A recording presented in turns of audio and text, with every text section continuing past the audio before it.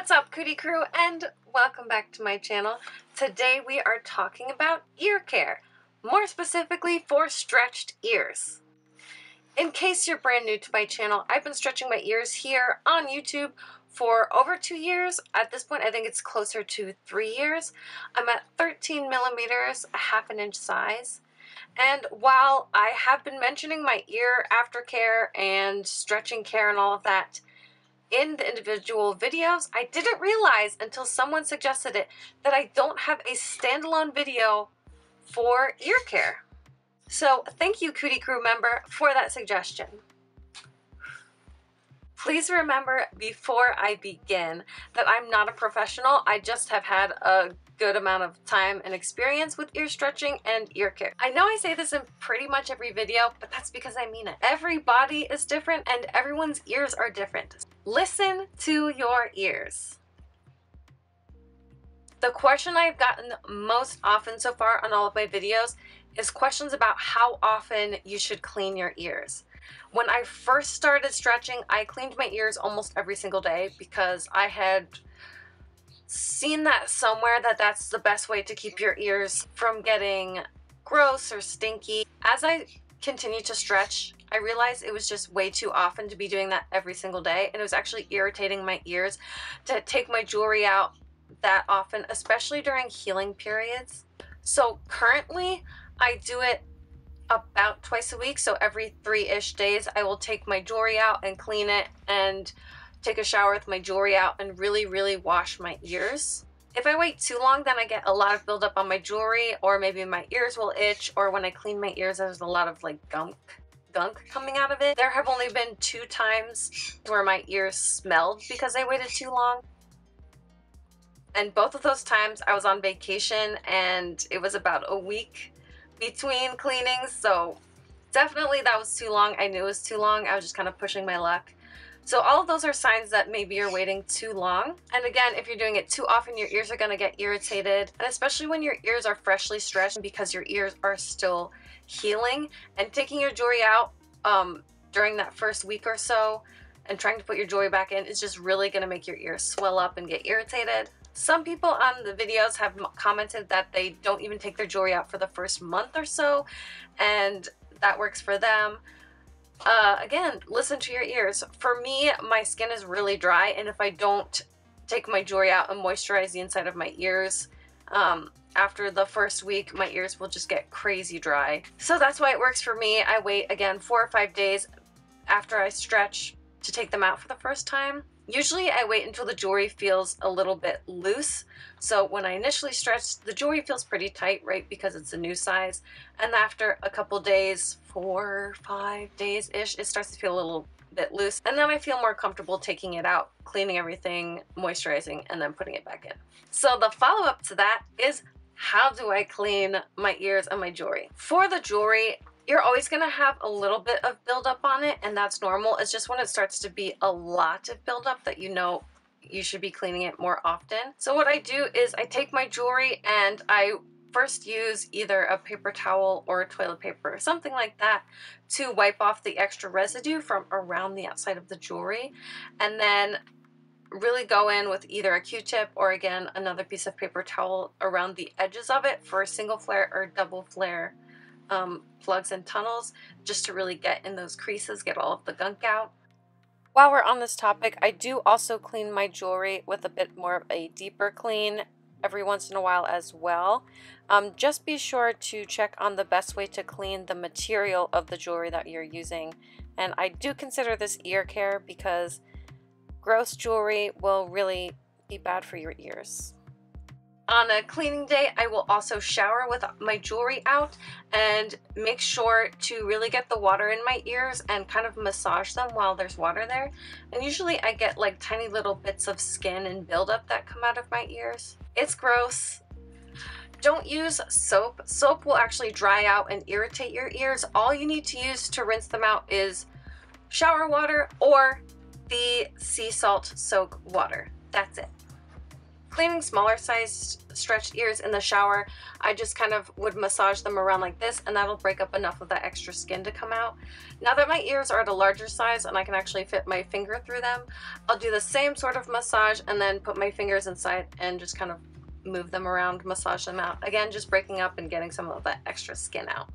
If you have regular ear piercings and you don't wear them for a while, you know, and then you put an earring in after, I don't know, a month or two, and it, this like clump of gunk comes out the other side. It's the same stuff building up on the inside of your ear. It's like dead skin and things like that. You gotta stay on top of it, keep your ears clean. Too much of that buildup is gonna really bother your ears and is also really not sanitary. Another way to keep your ears cleaned, which is the go-to way if they are freshly stretched, is salt soaks. And I cannot say enough amazing things about salt soaks. Salt soaks. They are amazing at clearing out some of the gunk, even if with your jewelry in. So I've gotten questions about whether I do the sea salt soaks with my jewelry in or out. 90% of the time I do it with my jewelry in. Because again, that's usually during the healing period, so I'm trying not to touch my jewelry too much and I'm just soaking my ear. But just the warm water will kind of get some of that dead skin out of the way and really flush out your ears and keep them all nice and clean. For sea salt soaks, warm water is best. Hot water will burn your ears and that's again going to irritate them, which you do not need. You can find a bunch of recipes online for different size portions of the sea salt soaks. Just make sure you're using distilled water, non-iodized sea salt. That's the key. If you use the wrong kind of salt, it's not really going to do much in terms of healing your ears. When I first stretch, I do the sea salt soaks once, max twice a day, and I'll soak them for five to seven minutes on each side. It is a time commitment, but if you're healing your ears, it is totally worth it. What the sea salt soaks do on top of cleaning is just help heal your ears. Um, next question is all about moisturizing. Again, this is something that I changed after I had been stretching for a while. So initially I was using coconut oil to moisturize my ears and I thought that was working well until I started using stretching balm. And then I realized that coconut oil really wasn't helping me all that much. While it did serve as a lubricant for stretching, I needed to reapply coconut oil every day, every other day to keep my ears moisturized um, which I think just really means that my ears weren't really retaining moisture from the coconut oil. I switched to using stretching balm somewhere around zero gauge size. I don't remember exactly now. And I am never going back. I would 100% recommend using some sort of moisturizer or balm that is made specifically for stretched ears instead of using other oils that maybe are not. I know pure jojoba oil is one of the best oils to use, so in that case, a pure oil is great. This is the safest, best option. Again, jojoba oil or a stretching balm. After switching, I only have to moisturize my ears every three-ish days, like I said before, so I know my ears are retaining moisture better, they're softer, they look happier. All around, highly recommend it. Um, plus, again, these are formulated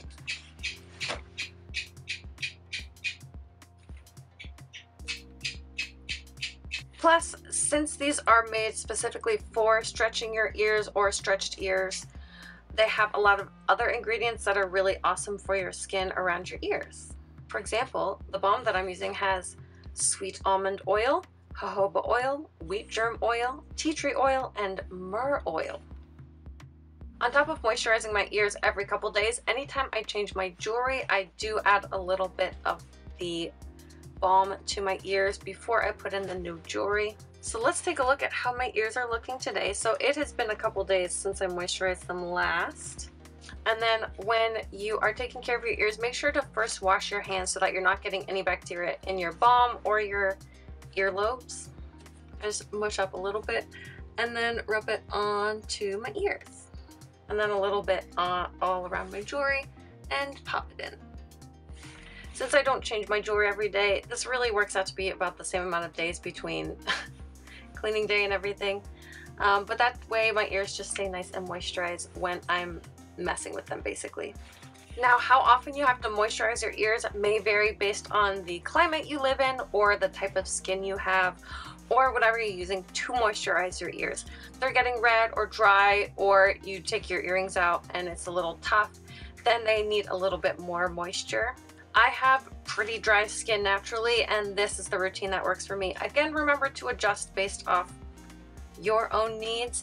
I don't think it's possible to moisturize them too much, but if you are removing your jewelry a ton and bothering your ears that way because you're taking jewelry in and out so much, then that's not really good either. When your ears are freshly stretched, you don't want to mess with them at all. Touch your jewelry as little as possible. I honestly don't touch my jewelry much at all, even when it's not in the healing process, just having it in. I only change the jewelry that I'm wearing every few days, and between that, I don't really touch it very much. And my ears are much happier the less I mess with them. Another oil that I put on my ears every once in a while, maybe every couple of weeks, is this vitamin E oil. I started doing vitamin E oil massages back when I was giving my ears some TLC and it just transformed my ears so much. So I just like adding it to my routine every once in a while. Again, it's probably every two or three weeks, and I just massage it into my ears for a little bit. And it's just good for your skin in general. One other question I got was about piercing bumps and what to do about piercing bumps. Um, I do have quite a bit of experience with the bumps, whether it be from my ears, my nose, or my sternum piercing. The bump has shown up. The first things to do when you get a piercing bump are pretty much similar to what I've already gone over, which is don't touch your jewelry, do these sea salt soaks, and if that's still really not getting rid of it, what I found that works really well for me is emu oil. So I used it on think one of my rook piercings a long time ago and then again on my sternum piercing when I was having that real big issue with the bump not going away and getting worse and it cleared it right up. So that is also something that I would recommend. I know a lot of people will use tea tree oil for the piercing bumps and I did try that on my nose for a while.